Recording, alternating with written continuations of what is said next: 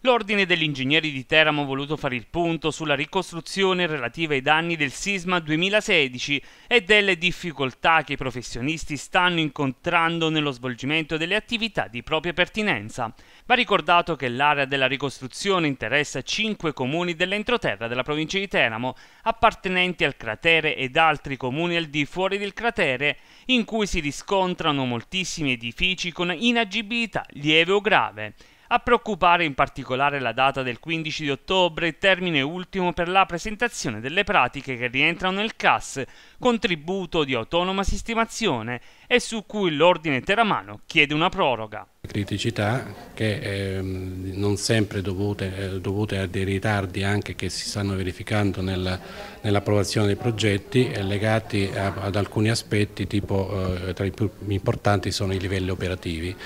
Livelli operativi che in sostanza hanno tenuto bloccato un po' i progetti appunto da, da circa un anno che se ne parla noi abbiamo fatto, chiesto dei chiarimenti eh, che sono arrivati, alcuni sono stati, che sono stati anche un po' in parte accolti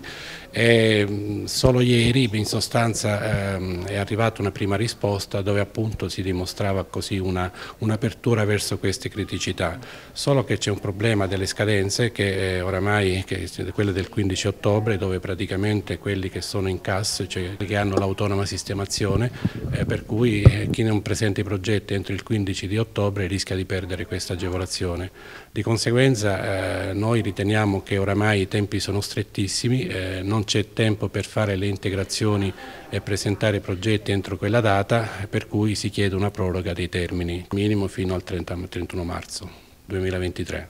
Oltre a questo, l'Ordine degli Ingegneri di Teramo chiede tempistiche più rapide di approvazione ed erogazione dei SAL stato di avanzamento lavori senza prevedere aggravi significativi nei confronti dei professionisti. Chiediamo anche un po' un'accelerazione sul rilascio dei SAL eh, e quindi alcuni altri aspetti, per esempio quelli del, del, dei danni fuori cratere, per intenderci che è stato emanato un decreto legge 20-22 settembre, per cui anche lì la scadenza il 15 ottobre sarà difficile da rispettare.